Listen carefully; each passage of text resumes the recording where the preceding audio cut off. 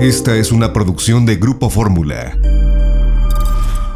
En el show de Ellen DeGeneres, y es que ayer se dio a conocer que el icónico programa de Ellen DeGeneres llegará a su fin el próximo año.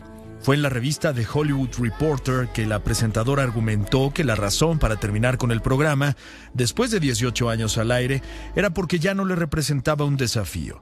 Por otro lado, Daily Mail informó que el motivo podría deberse a los señalamientos por parte de sus empleados de acoso laboral y racismo, mismos que se dieron a conocer en julio del año pasado.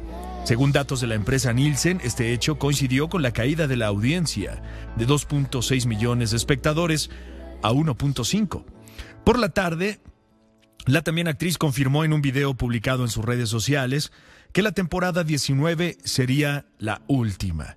En el clip, que fue acompañado por el texto Hoy es un gran día, la próxima temporada será una gran temporada, explicó que necesita tomar un descanso, siendo este el motivo por el que le dice adiós a su talk show, en el que ha entrevistado a más de 2.000 celebridades. Asimismo, dejó entrever la posibilidad de verla en Netflix. Finalmente prometió algo fantástico para despedirse.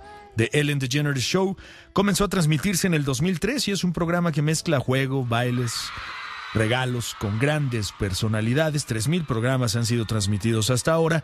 Y pues bueno, mucho del éxito de este programa, sí, recae o recaía en la personalidad, el estilo tan único de Ellen DeGeneres. En realidad ella siempre fue la verdadera protagonista de su talk show.